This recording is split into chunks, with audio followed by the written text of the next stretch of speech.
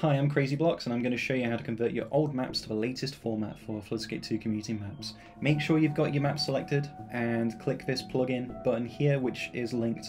Uh, so just click it and it will convert it all to the latest format.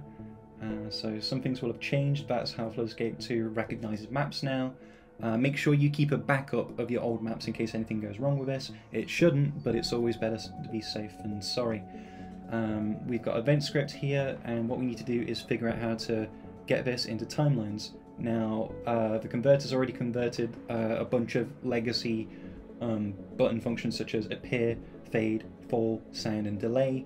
Um, so you can look at those after you've converted and got comfortable with the timeline system. But for now, we just want to focus on converting the event script functionality. So we've got timeline here, and we're going to make this one the timeline for messing with the flood. So we're going to need to make it so we apply it to the water so it knows what it's doing. And we're going to want to set that to 60 seconds, set the function name to set water state, and we're going to need to apply a state attribute and call it acid so that it does the same thing as here. That's brilliant, okay, and then we need to do that again, but later.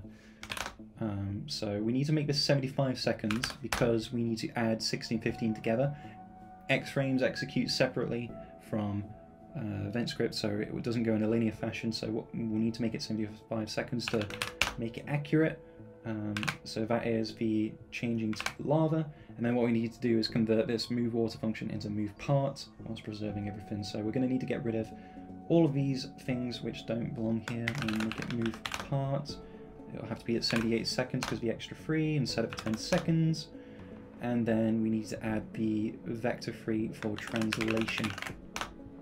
That's absolutely fine. We'll set that to 30. Uh, it's already set for 10 seconds. What we next need to do is uh, make it use the local space due to it being set to true here. And now, if you want to preserve the functionality of move water versus move part, uh, you will need to make easing style and easing direction as well. I'll show you how to do that uh, to behave as move water used to. So easing direction, we can set that to out. Uh, for the easing style it doesn't really matter, but we would want to set that to linear. And now you have converted your map into the latest format for Flood Escape 2. Um, I would suggest you check the documentation in the latest map making kit. It's got all the functions included in there and how it works. Um, thanks for watching. I, I hope this helps.